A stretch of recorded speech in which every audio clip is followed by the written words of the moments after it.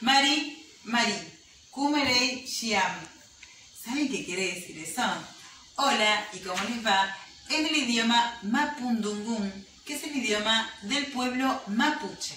Resulta que hace muchos años, en todas estas tierras donde nosotros ahora vivimos, estaban los pueblos originarios, que tenían sus culturas, sus comidas, sus canciones, su música y su propio idioma.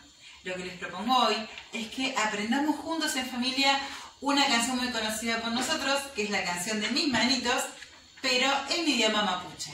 ¿Me acompañan? A la una, a las dos y a las tres. Pichikiuru, pichikiuru, chaumulei, feumulei, chaigunte pungu, chaigunte pungu, que ya que ya mutu Mis manitos, mis manitos, ¿dónde están? ¿Dónde están? Ellos se saludan, ellos se saludan y se van, y se van.